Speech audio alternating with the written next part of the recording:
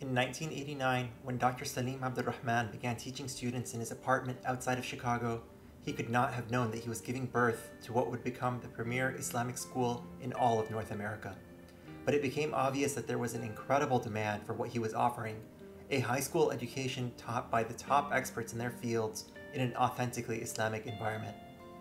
Today, CPSA is proud to be Washington Post's number one most challenging school in all of Illinois alma mater to nationally renowned scholars, surgeons, engineers, scientists, politicians, and more, thanks to an early emphasis on the importance of STEM subjects and instilling in its students a thirst for excellence and a belief that anything is possible.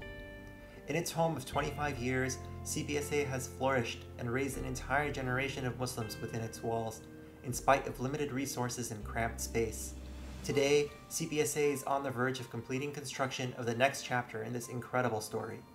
A new building with room to expand beyond its current limit of 450 students, multiple science and innovation labs, a dedicated sports facility, and much needed classrooms to enable additional course offerings. In just two years, the community has raised an incredible $1.5 million, which, combined with the school's reserves, was enough to secure half of the $7.5 million needed to see this project through. Alhamdulillah, today the outer walls of the structure are up and the roof is being installed. It is the dream of our community to have the new building open for students in the fall of 2019. A dream that after 25 years is finally within reach. With your help, inshallah.